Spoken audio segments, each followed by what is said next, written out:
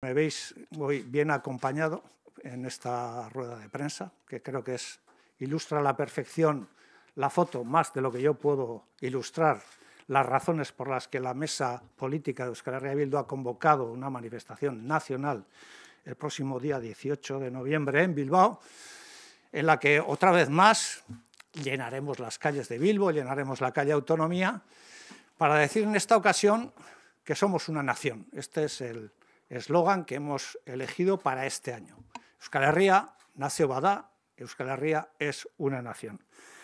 Creemos que existen razones poderosas para la convocatoria y razones poderosas para pedirle a la gente, para hacerle una invitación a la gente a que acuda a esta manifestación. La primera, ¿por qué nació Badgará? Bueno, esto es algo lógico en una fuerza política, en un movimiento político que se reclama independentista, que se reclama Berzale y que, por lo tanto, en términos históricos y de raíces históricas, siempre hemos defendido y defenderemos que Euskal Herria es una nación, ni peor ni mejor que otras, pero una nación.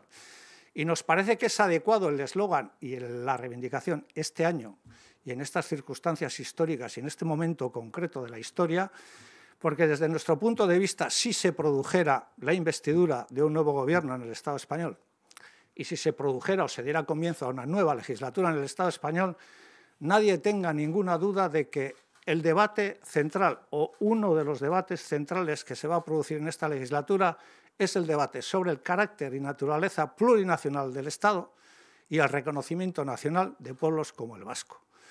Y estamos convencidos de que esto va a ser así por dos razones. La primera, porque consideramos que efectivamente eh, el modelo del Estado de las autonomías hace aguas por todos lados. Cada uno aducirá un tipo de razones, las nuestras son políticas y son nacionales, otros podrán aducir razones de tipo financiero, pero es evidente que desde nuestro punto de vista es un modelo agotado.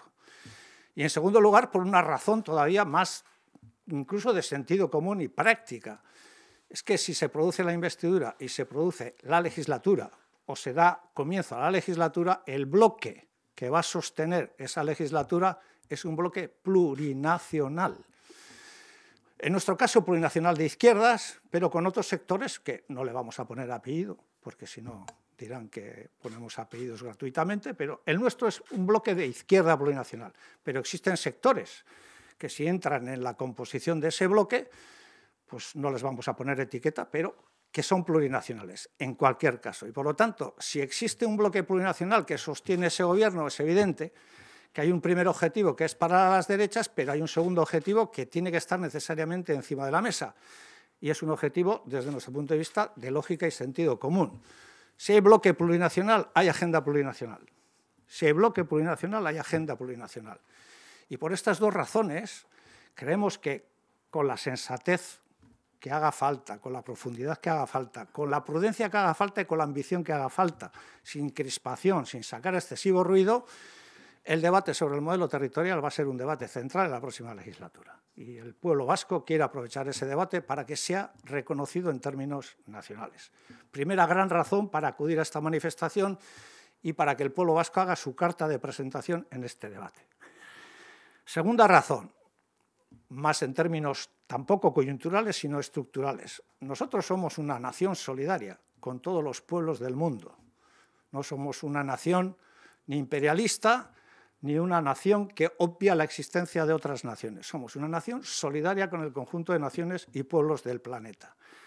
Lo hemos sido a lo largo de toda nuestra trayectoria, pero este año es evidente que por encima de otras consideraciones y por encima de un apoyo generalizado a las luchas de los pueblos del mundo por su emancipación, es evidente que Palestina ocupa un lugar preferente en, eh, digamos, en el modelo de solidaridad que queremos expresar también en esta manifestación. Y por eso queremos decir, hacer una invitación también a la gente a que se exprese en esta manifestación, también expresando su solidaridad con el pueblo de Palestina. En ese sentido, quiero apuntar que habrá una delegación tanto del FPLP como del FDLP, organizaciones palestinas que nos acompañarán en esta manifestación de Bilbo, en la que cantaremos también el Choría Chori para que se nos oiga en Gaza y se nos oiga en Cisjordania como un canto que en definitiva exprese la solidaridad del pueblo vasco con la lucha del pueblo palestino.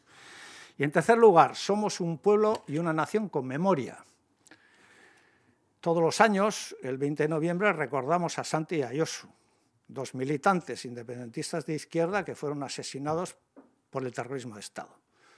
Y creemos que es también una buena ocasión para llenar las calles de Bilbo para volver a recordarles y para volver a decir que el camino en el que ellos estaban es el camino que todavía seguimos recorriendo y que recorreremos hasta el final.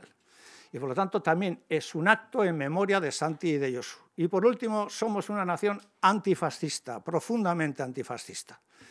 El 18 de noviembre los fascistas se van a reunir en Cibeles, el 18 de noviembre los antifascistas nos vamos a reunir en Bilbo, porque creemos que esta ocasión no puede ser dejada de lado para expresar que somos una nación, que tenemos memoria, que somos solidarios y que somos profundamente antifascistas. Por eso, lo nuestro no es una llamada a la movilización, es una invitación a la movilización, a la conciencia y a la solidaridad.